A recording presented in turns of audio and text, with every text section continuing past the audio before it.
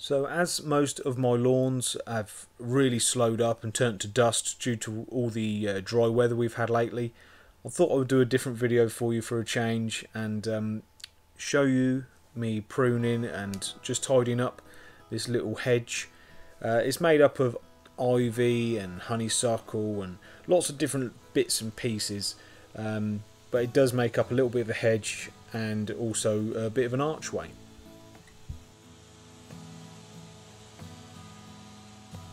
Now this isn't like a normal hedge job where I would just come in and cut it all to shape nicely. Uh, being as this is made up of ivy and, and honeysuckle, that type of thing, got to be fairly careful that I don't cut off one of the uh, sort of main, uh, would you say, sort of vines. Um, I'm also, I'm basically just taking off the uh, the yearly growth or any of the long spindly bits and pieces.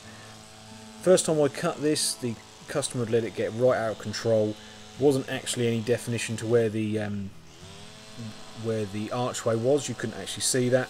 Uh, so the first time I cut it, I chopped it to bits. Really did. Uh, there is actually a fence line in there somewhere. I did cut it right down uh, quite drastically, but we do now, probably two years later, have it under control fairly well.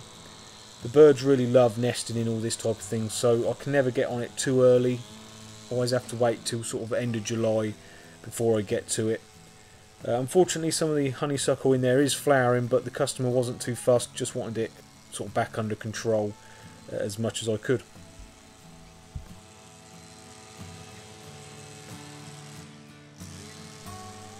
This is normally a place I will come and cut the grass from every visit, but as we all know over in the UK at the minute, there's nothing really needing mowing at the minute. We're still going for a fairly dry patch.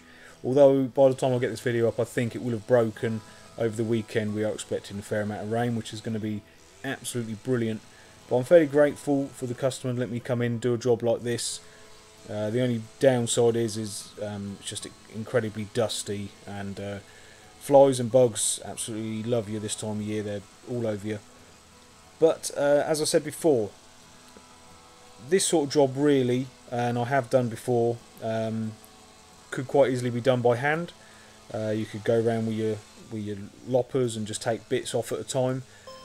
I had a few little jobs that the customer wanted me to do on this day, so I did decide to get the uh, the Stihl long-reached uh, Kombi out just to quicken things up a little bit.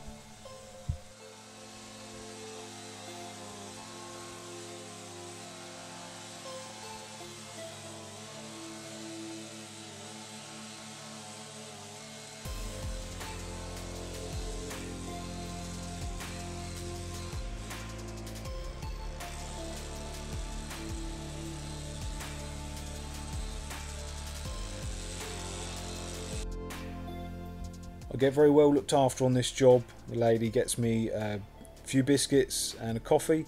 And on a day like this, it was hot and uh, really, really humid. Uh, I'm going to take every rest break I can. It's important, guys. Make sure out there you get plenty of drink and uh, plenty of breaks.